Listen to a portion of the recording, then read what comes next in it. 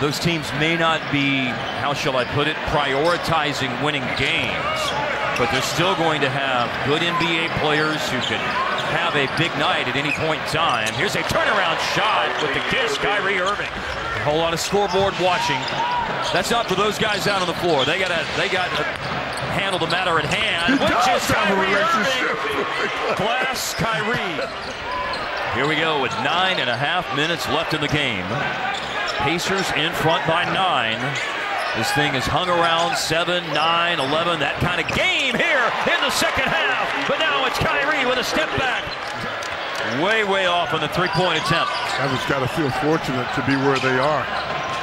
And now they've got one of the all-time great fourth quarter players trying to take McDermott to school. He does! Kyrie with a burst of nine fourth quarter points then putting Doug McDermott in the blender. That's when you know you have a chance. When you have a guy like Kai, you just talked